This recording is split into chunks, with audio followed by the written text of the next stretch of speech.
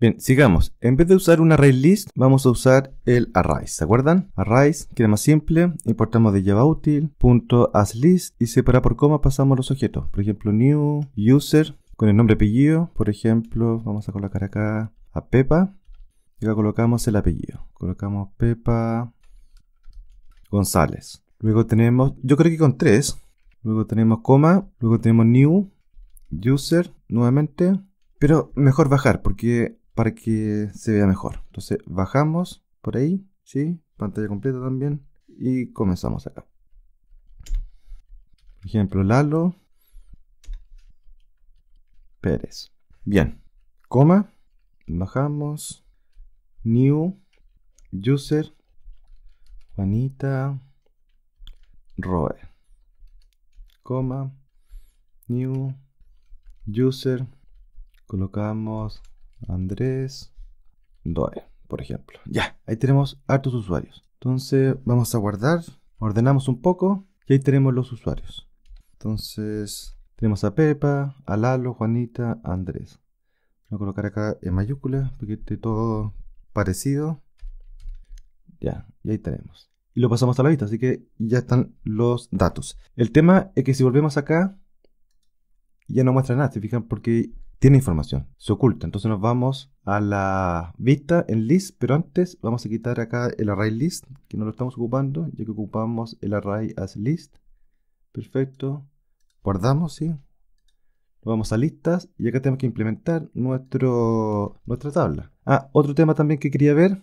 Ya, esto es una forma, ¿cierto? Con size. Si es igual a 0 es porque no tiene elemento. Pero también, más fácil todavía, hay otro método, is empty. Y si está vacío, lo mismo, user is empty si está vacío, no tiene elementos los usuarios. Es un método también de la plist. De hecho, lo podemos revisar. Si nos vamos acá, no debiese mostrar nada, ¿se fijan? Pero si volvemos al controlador y quitamos a los usuarios acá, solamente para que lo vean, no es necesario que lo hagan, pero para que lo vean, volvemos, no tiene elementos, ¿se fijan? Con el is empty. Guardamos. Además que el is empty ya devuelve un true o false, una expresión booleana. Entonces no es necesario comparar con nada, porque devuelve true o false, is empty. Ya, ahora quiero renderizar, entonces vamos a tener una tabla, un table HTML, vamos a tener los campos o las columnas arriba, entonces con un tr abrimos y cerramos, bajamos y las columnas con un th. Entonces th vamos a tener el nombre, el nombre, bajamos, vamos a tener otro th con el apellido y vamos a tener otro th con el email.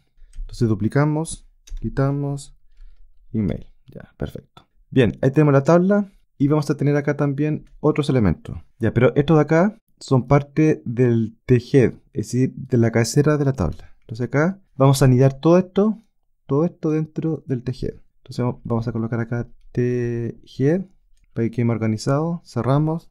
Perfecto. Bajamos, seleccionamos.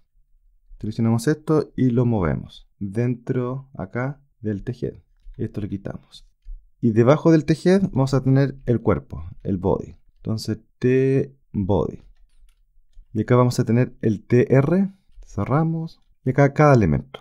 Acá sería con TD, porque estos son nombres de columnas. Por eso TG, TH o T y la H de head y este del T, este del, del cuerpo, de la fila. Entonces acá vamos a mostrar el nombre, el apellido y el email, ¿no es cierto? Pero se tiene que repetir, por cada usuario se tiene que repetir una fila, un TR. Entonces en el TR acá tenemos que tener la iteración con el th dos puntos each.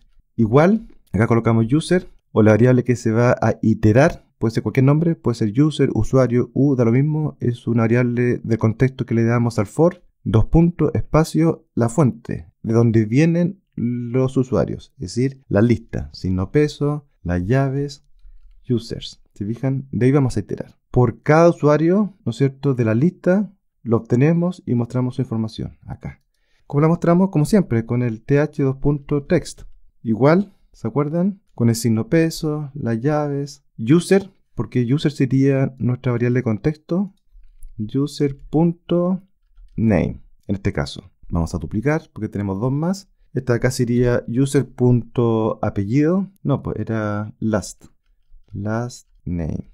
Acá le vamos a colocar, en vez de apellido, last name.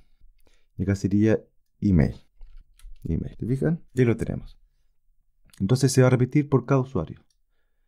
Vamos a ver cómo quedó. Entonces volvemos, actualizamos y ya tenemos nombre Pepa, last name, ¿no es cierto? Tanto y el email tanto. Que bueno, perfecto. Email no tiene, ¿no es cierto? Porque claro, lo agregamos con un constructor con nombre apellido, pero sin el email. De hecho, el user no tiene un constructor para pasar el email, aunque se lo podríamos agregar, ¿se fijan? Y así algunos pueden tener correo y otros no. Creamos un constructor, clic derecho, acá, constructor, con los tres, con los tres campos, aceptar. De hecho, nombre, apellido y el email, y acá pasa solamente el nombre y el apellido. Pero como se repite acá, ya tenemos un constructor que pasa el nombre y el apellido, esto lo podemos quitar y lo podemos simplificar. Colocamos this, y si estamos llamando al constructor de la misma clase this, le pasamos el nombre, name, email. Entonces queda más limpio.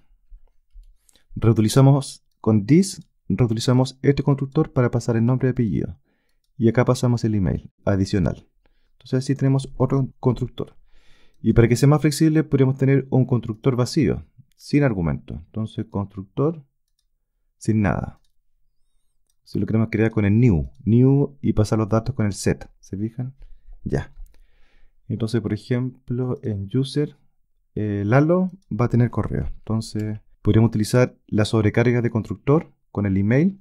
Acá le colocamos lalo.correo.com. Y también acá a Juanita. Entonces, lo mismo, juana.correo.com. Y listo. Entonces, si volvemos, te fijan, ya Lalo, bueno, acá tiene el last name. Acá tiene el last name. A ver, acá tenemos el last name.